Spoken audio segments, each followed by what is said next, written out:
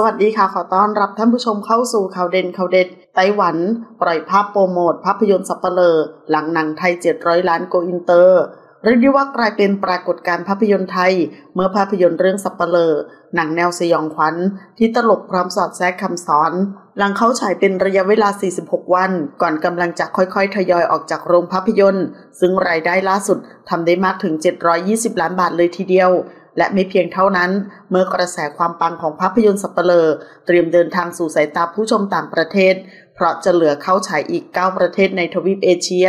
อาทิญี่ปุ่น สิงคโปร์ไต้หวัน มาเลเซีย เมียนมา เวียดนาม ฟิลิปปินส์อินโดนีเซียและกัมพูชา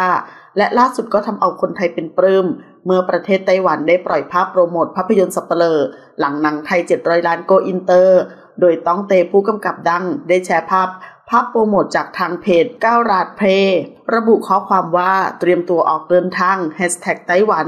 โดยเนื้อหาการโปรโมทของประเทศไต้หวันแปลเป็นภาษาไทย ระเบิดภาพยนตร์ระดับปรากฏการไทย มียอดขายกว่า 700 ล้านบาท สร้างบ็อกออฟฟิศมิราเคิลเมรารีแมน12ทับ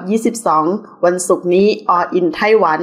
ความตายสามารถฆ่าคุณได้เพียงครั้งเดียว แต่ความรักสามารถฆ่าคุณได้นับพันครั้ง กว่า 700 ล้านบาท นับตั้งแต่เปิดตัวชนะแชมป์ประเทศไทยบ็อกออฟฟิศประจำปี ระเบิดภาพยนตร์ระดับปรากฏการณ์นายกรัฐมนตรีไทย นำทีมแสวงบุญ การผสมผสานแบบคลาสสิกของไทยที่น่ากลัวตลกและน้ำตานำเสนอภาษาและมุมมองชีวิตและความตายในอีสาน ทางภาคตะวันออกเฉียงเหนือของประเทศไทย